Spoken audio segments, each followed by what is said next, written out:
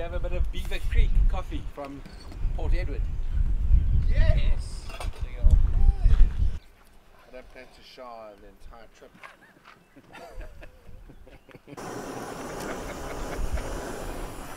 oh no, look what I've done. I've moved back there. It's not getting That- hot. Wait, sure. We'll check how this thing changes to I ran red, halfway uh, to your orange.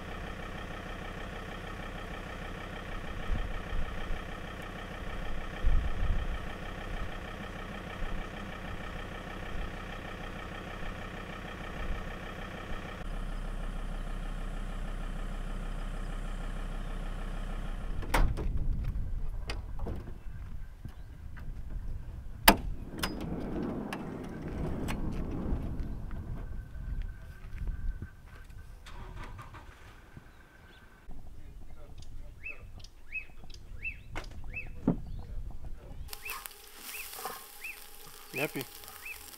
Ah,